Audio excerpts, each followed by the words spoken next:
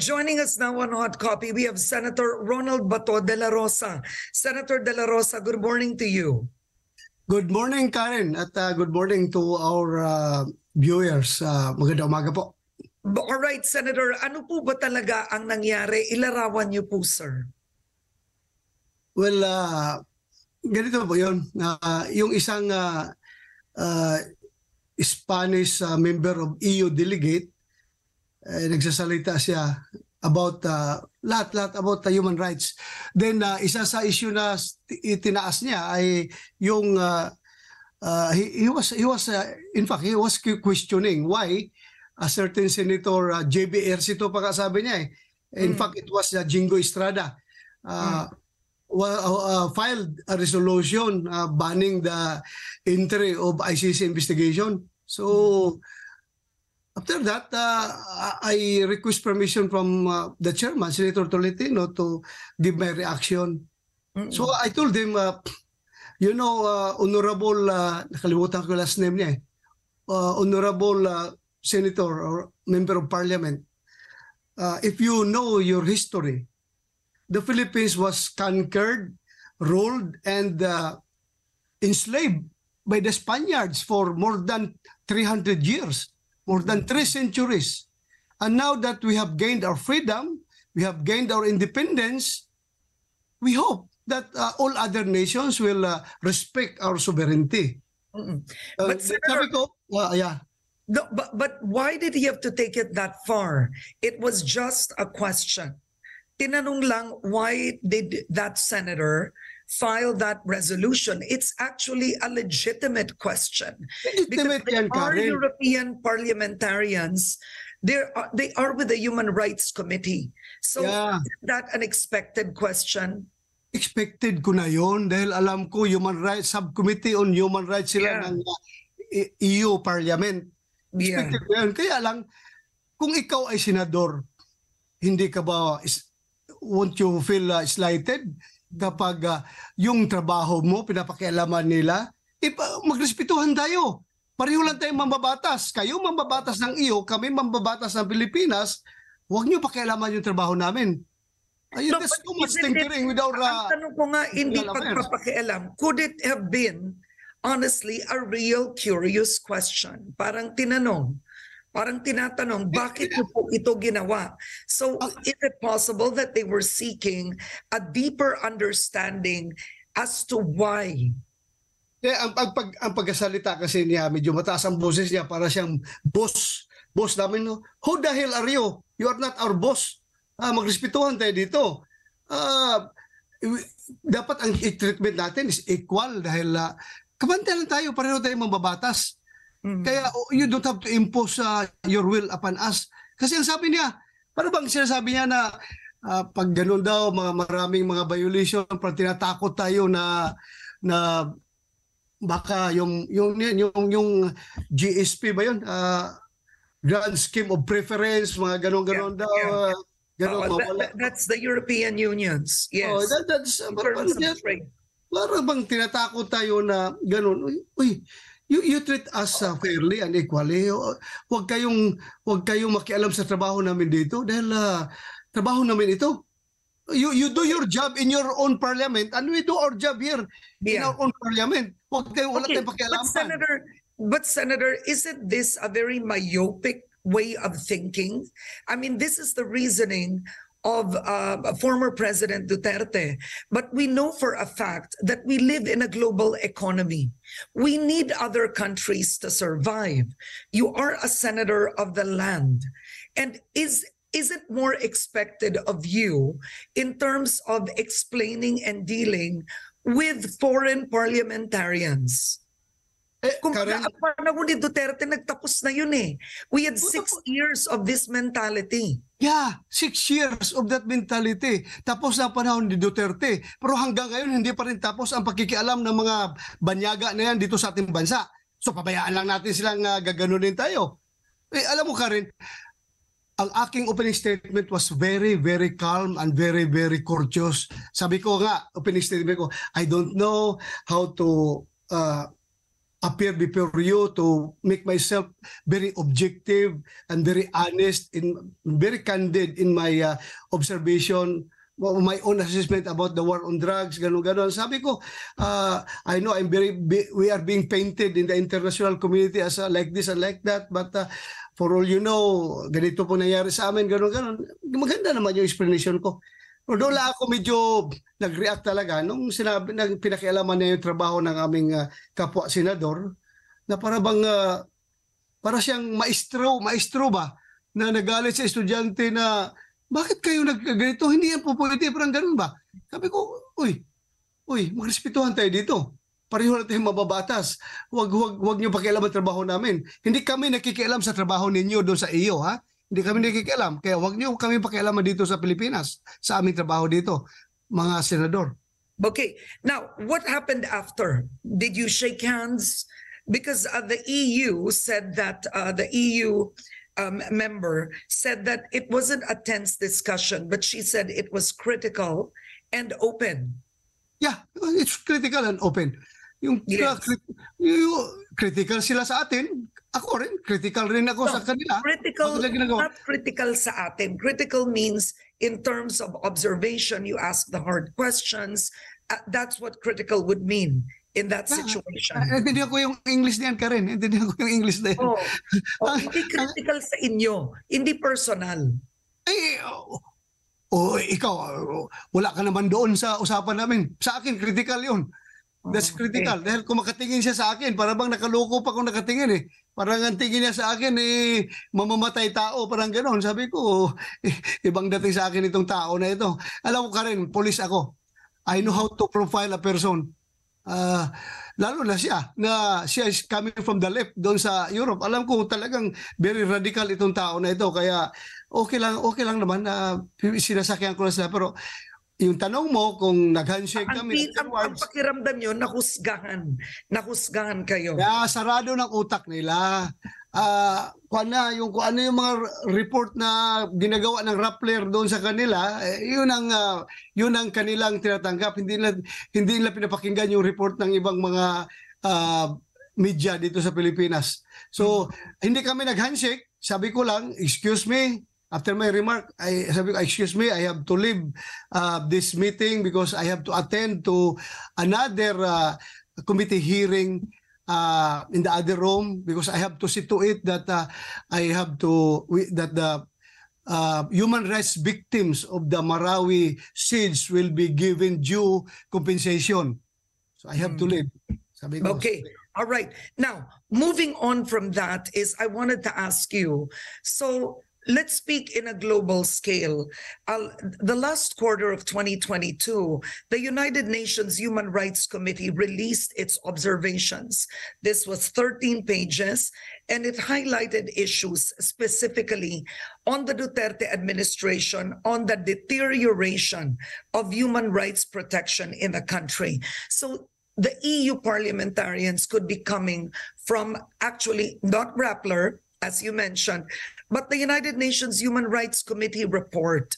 So this is the report of the Philippines. This is our global standing when it comes to human rights protection. Paano po yun, Senator? This is not about how local media perceives it. This is the UN Human Rights Protection Report. Kaya nga Karen, ganito yan eh. Balikan natin, ba- balik, balikan natin si si ah, General Loda.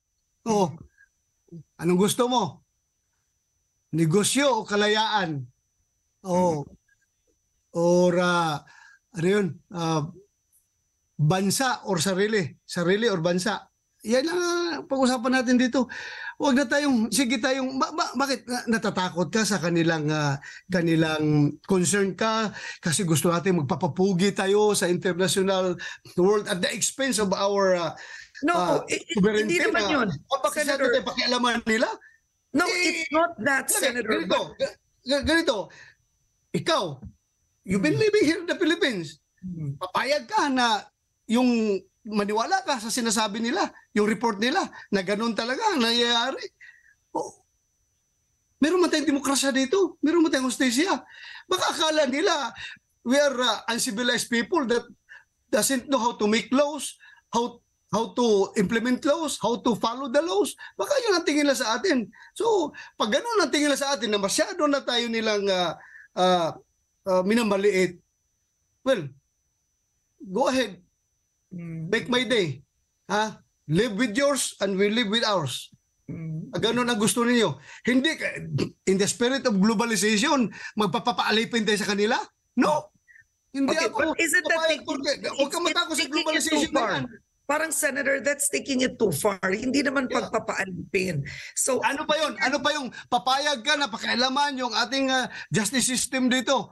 Hindi ba yan pagpapalipin sa kanila? That's that's uh, interference. Eh, pa, hindi natin sila boss Karen, remember. Kahit na malayaman silang bansa, kahit Mm-hmm. you pabibirit ng remember, sila, Senator, wala silang that- karapatan na tayo Oo. yung rakan dito. Hindi, tama ka doon. Pero Yes. you have to remember, the Philippines was a signatory of the Rome Statute. We were a signatory, and the Philippines is also a member of the United Nations. So, kumbaga, we are a member of a bigger global community. So, Wala I na yan ngayon, Karen, dahil hindi na. bro, malis na tayo. Huwag natin i-insist So, yung... uh, umalis tayo sa statute yan. ICC. But we were a signatory, meaning we recognized the importance of the Rome Statute. Umalis na tayo kaya nga. Okay. Sino gumawa ng ah, Rome, sino gumawa ng ICC? 'Di ba Rome Statute? So umalis tayo diyan sa ICC na yan. Ibig sabihin hindi natin na pinapansin yung Rome Statute nila na yan. Bahala kayo diyan. Hindi na kami membro ninyo. Mm, Okay. Yan, So, yan ang dato sa atin. Senator, Huwag wag kang wag kang wag kayong magpupilit na magiging lingkod doon. Huwag tayo magpapansa mo. Huwag mong lamunin yung pride mo para lang magiging magsipsip ka sa mga puti, magsipsip ka sa mga European. No! May sarili tayong identity, may sarili tayong ah, panindigan. Huwag tayong magsigisip-sip sa kanila dahil ah, forever tayo nilang ah, ah, bubulihin. Wala. Papareho lang kaming mababatas. Mababatas siya ng iyo. Mababatas kami ng Pilipinas. Tapos ang treatment niya sa amin para siyang teacher. Natuturuan kami kung anong dapat gawin. Yung, hindi kayo pwede But dapat mag-file ng ganitong. Senator, ganun po ba ang dating talaga doon? Kasi sinabi ni Senator Francis Tolentino, parang kinailangan daw ng interpreter. Kaya parang mataas ang boses. Ang mga, di ba pa, ang mga Ay, ay, ay, di ba? Di ba? Sinabi ni Tolentino na tumaas ang boses, di ba? Tumaas Oo. ang boses. So, kasi kailangan ng interpreter daw. ma- mabait lang, mabait lang si Senator Tolentino. Mm. Ako hindi ako kasing bait sa kanya. Talaga. Ah, aminin ko sa'yo. Mabait lang si Senator Okay. Tolentino. Oo. It ended well naman, sir. Or nag-walk out kayo. Did you have at least a moment together that you shook hands? Wala na, wala na. Hindi na kami nag-usap dahil naglipat nga ako kasi importante rin yung ah, committee hearing ko sa Marawi ah, Rehabilitation and Com- Victims Compensation. Nan- naglipat ako doon. Pero hindi man ako, slighted lang ako sa comment niya pero hindi man talaga ako galit sa kanila. Sabi ko nga sa kanila, to start with, I must ah, declare that among us senators, I am the most God-fearing senator. I am the most uh, uh, family-loving senator. Uh, sabi ko nga sa kanila, para to disabuse their mind na abusado tayo, na tayo'y mamamatay tao. Sinabi ko sa kanila na takot ako sa Diyos.